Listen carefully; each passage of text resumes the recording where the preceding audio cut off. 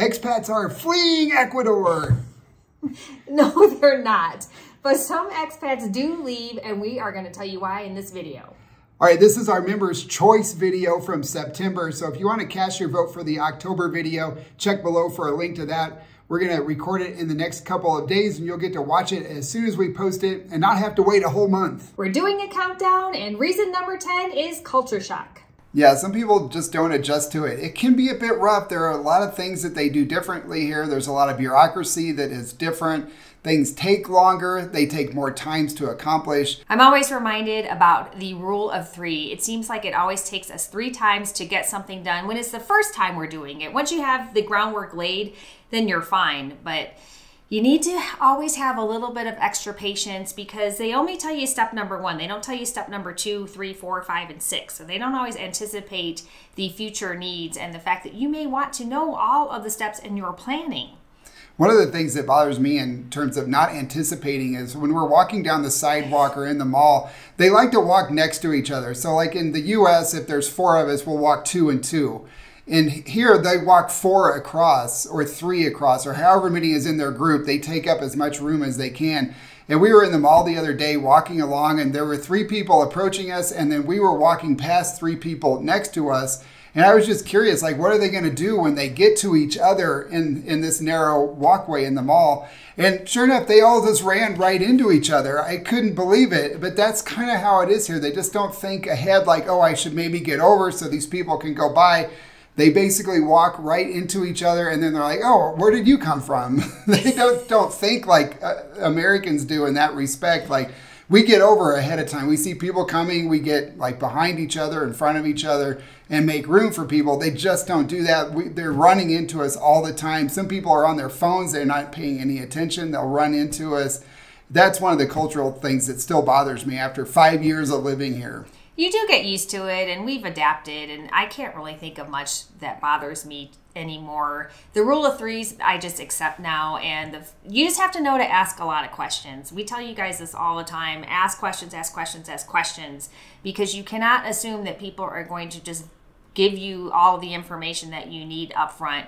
All right, next up is people get homesick. This is number nine, and it's a really common reason why expats leave Ecuador. Yeah, we hear this a lot. A lot of you are hesitant to move here even because you're afraid you're going to be too far away from your grandkids or from your family members or your friends. Yeah, especially if you have aging parents in their 80s or 90s and they need care and you don't have anybody back home to, to help with that a lot of expats leave to go back to take care of their aging parents or their grandchildren. They mm-hmm. some people have grandchildren, new grandchildren. They don't want to miss out on those years, so they go back to be with them. Yeah, this is a tough one. We always tell people you can do a lot of video calls, but as JP said, there are going to be times when you are probably going to need to go back home, and that is one of the reasons why expats leave. Yep. All right. Number eight is the language barrier, and it can get really frustrating. We actually know several people who just got tired of trying to learn Spanish and struggling with it because as we get old and our brains get hard, it's not as easy to learn a foreign language as it is when we're kids, and it gets really frustrating trying to communicate it can be very frustrating. I know I'm very jealous of little kids who are fluent. I wish that would have been us, yeah. but it's not don't give up. To me is so worth it. But we have a lot of friends that have decided they'd rather go to an english speaking country. Yeah after five years we're still not fluent. I would call our spanish functional. We get by. We can communicate with people especially the important things like the mercado taxi drivers and what else do i say? Restaurants. We're really good at restaurant spanish but, you know, we can't have philosophical conversations. I still prefer my doctor to speak English because I don't want there to be any miscommunication about health care issues. And luckily, most all the doctors that we've had sp- speak fluent English, so it hasn't been an issue. But it can be frustrating when you're trying to do things at the bank or at a mm-hmm. government building and you go in and you're trying to communicate in, in, in a foreign language that you're not fluent in and they just speak so fast spanish is one of the fastest languages on the planet and sometimes it's just really hard to to know what they're talking about. It's also very frustrating because people are still wearing masks here, and it's harder for me to understand when I can't see people's mouths. So you can't tell what they're saying. and also it's muffled. Yeah, and they they're just quiet speakers to begin with. The Ecuadorians especially. We haven't noticed that in other Latin American countries as much, especially Mexico, where they speak much louder. But here in Ecuador, they're very calm soft spoken people, and it's really hard to understand when they've got a mask on and you're speaking a foreign language that you don't fully understand. We've heard this from a lot of people. They come here with good intentions, and then they find that they can get into a group of people where it's easier to speak English. So mm-hmm. I'm t- saying this to us as well as to you. We encourage you to keep powering through with your Spanish. Yeah, yeah. Even like our Ecuadorian friends, almost all of them speak fluent English. It's so easy, I know. And then, you know, we tried to speak Spanish and stuff, but it just it just almost always reverts back to English. Uh, probably because they get tired of hearing us butcher their beautiful language. That's possible.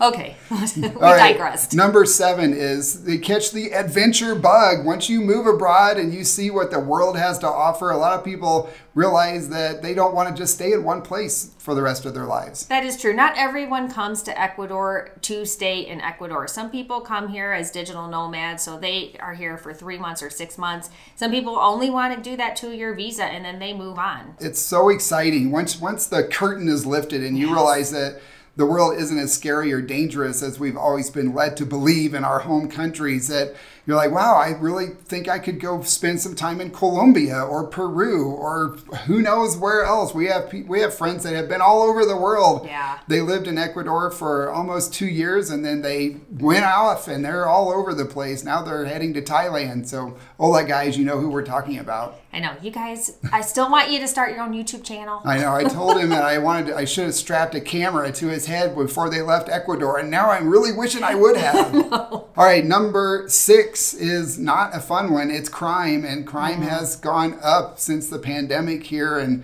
it's really becoming concerning for a lot of expats. Yeah, things have definitely gotten a little dicey in parts of the country. We still feel safe, and we've been traveling around Ecuador. We have not had any issues, but there definitely has been an increase of crime. Like JP said, the pandemic really ha- took its toll on the country because tourism just completely stopped. People lost their jobs. Nobody was working because we were locked down for so long, and they just have not recovered. And then we had that last paro, which did not help matters. Yeah, a lot of people slipped back into poverty. The middle class was yeah. growing rapidly in Ecuador before the pandemic, but that completely reversed after basically six months of no working and no tourism. So it's really hurt people. That has led to an increase in robberies. It's also kind of created a vacuum that the drug people were happy to fill. And so yeah. they're here now. And this, we were talking to some of our good Ecuadorian friends just yesterday, and they said that this is just really unusual for Ecuador. And they don't know how to deal with it because mm-hmm. they've never had this problem before with the violence and the crime. And they're kind of at a loss of what to do. And I think they don't have the training or the funding to really deal with it as effectively as they could. So, along with this is number five, which is political instability. So, with the increase in crime, it has also created a lot of complaints about how the government is handling it and a lot of people have kind of stepped up to the plate to say they can do it better. The Paro led to an impeachment process, which didn't succeed. So our, the president, Lasso, is still the president of Ecuador, but there was a whole movement to impeach him and, and have a new election. And it's this power vacuum that has been created because of the pandemic and the resulting crime and instability is you know political instability is a problem. We talked about it in well, almost three years ago in one of our videos why we chose ecuador was because it was pol- politically stable among the latin american countries. Well we can't say that as much now as we could then. No but this is a worldwide issue. It's fascinating to observe because it's happening all over the place I'm really not worried about it, but some of you are, and we've heard from people who have decided they came on a tourist visa thinking they were going to stay longer, and they just decided they didn't want to take the chance. Mm-hmm. Yeah. Hopefully, we get back to the way it was before the yes. pandemic. And I think uh, economic improvements would help that tremendously. And we know the government is working on that, and it's some of the demands of the protesters are to improve the economics of the country. So hopefully, some of these measures that they're doing will help with that.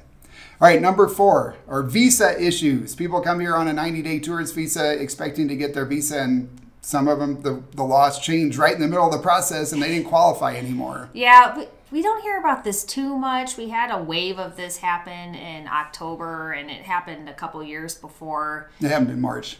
Was that March? Yes. Amelia's lost track of time.